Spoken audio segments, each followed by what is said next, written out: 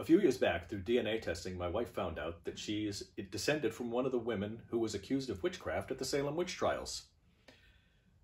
I recently found out that there is a whole folk song about her ancestor.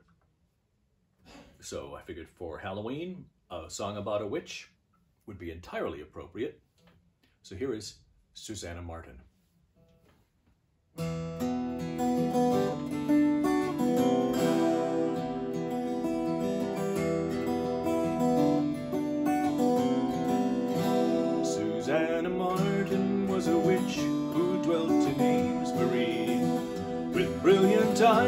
Salty tongue she worked her sorcery.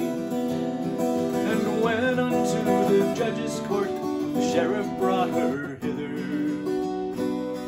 the lilacs drooped as she passed by, and then were seen to wither. A witch was she, though trig and neat, with comely head held high. It did not seem that one as she with Satan so would lie. And when in court the afflicted ones proclaimed her evil ways, she laughed aloud and boldly then met Cotton Mather's gaze. Who hath bewitched these maids, he asked, and strong was her reply. If they be dealing in black arts, you know as well as I. And now the stricken ones made moan as she approached near. They saw her shape upon the beam, so none could doubt was there.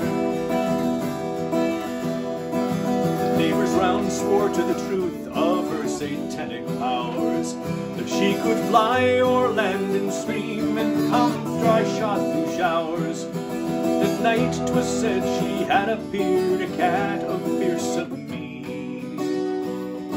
Avoid she devil they had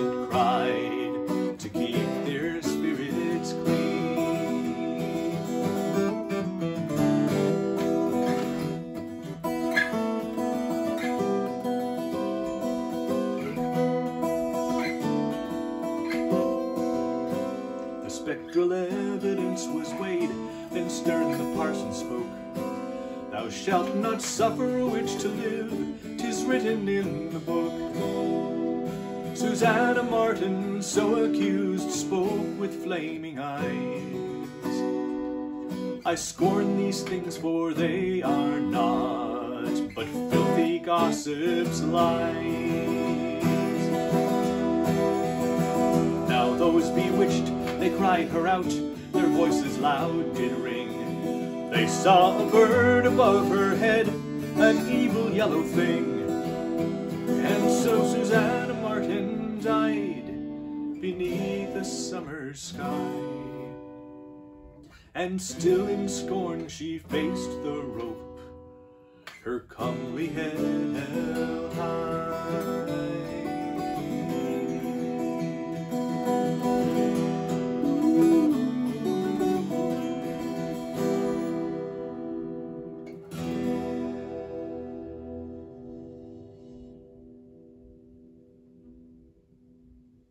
Happy Halloween.